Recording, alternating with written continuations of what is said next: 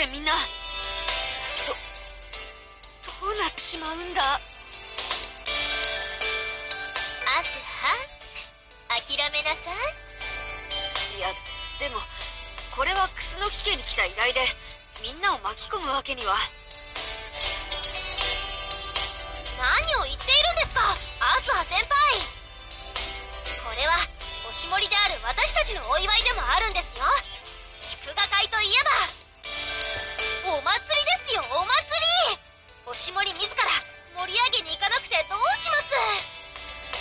ユリ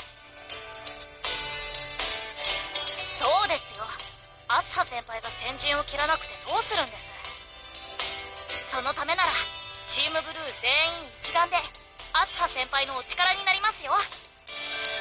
そそうか。それはありがとう。しかしだな。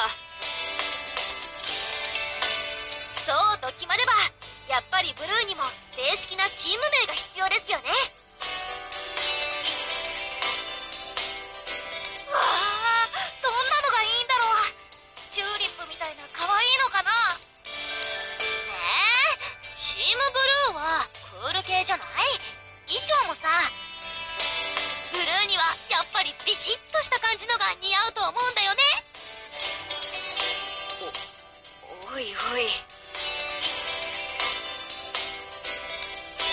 そういえばステージってどこになるんでしょうね。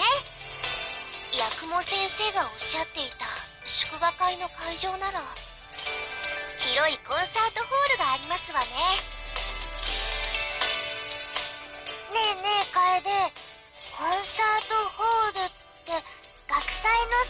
みたいなの？もっとずっと大きいですわ。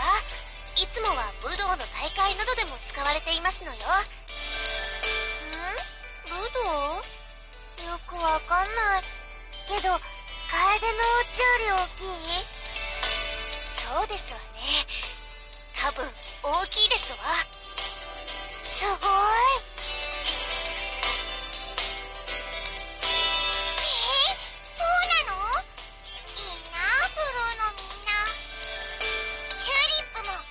とやりたかったねうらら先輩まあねでもでもうららはいつかその広い会場でソロのライブやっちゃうんだからみみんなでやろうよ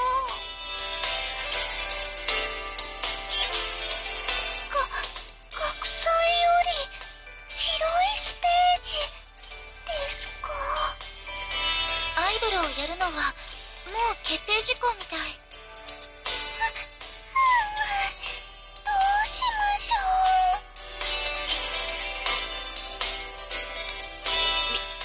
みんな待て。